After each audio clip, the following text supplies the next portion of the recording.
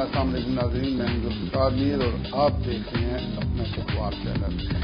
ناظرین، شروع کرتے ہیں پروگرام۔ آج کی خبر اور آج کی خبر میں جو پہلی نیوز ہے، وہ پڑوسی ملک نیپال سے آمدہ اطلاع ہے۔ نیپال سے جو اطلاع آئی ہے، اس کے مطابق وہاں پر ایک معجزہ رونما ہوا اور جس طرح یوٹیوب پر وہ دکھایا بھی گیا۔ اس میں یہ بتایا جا رہا ہے کہ ایک مسجد کا زیر تعمیر تھی اور اس کے جب جو ایک بھاری بھرکم مینار ہے، وہ رکھنے کی باری آئی، تو وہاں کے امام مسجد اور جو مسجد کی کمیٹی تھی، انہوں نے ایک کرین آپریٹر سے بات کی کہ یہ اس مینار کو اوپر جو ہے وہ لگانا ہے۔ تو جو کرین آپریٹر تھا، اس نے انکار کر دیا اور اس نے کہا کہ اپنے خدا سے مدد طلب کرو۔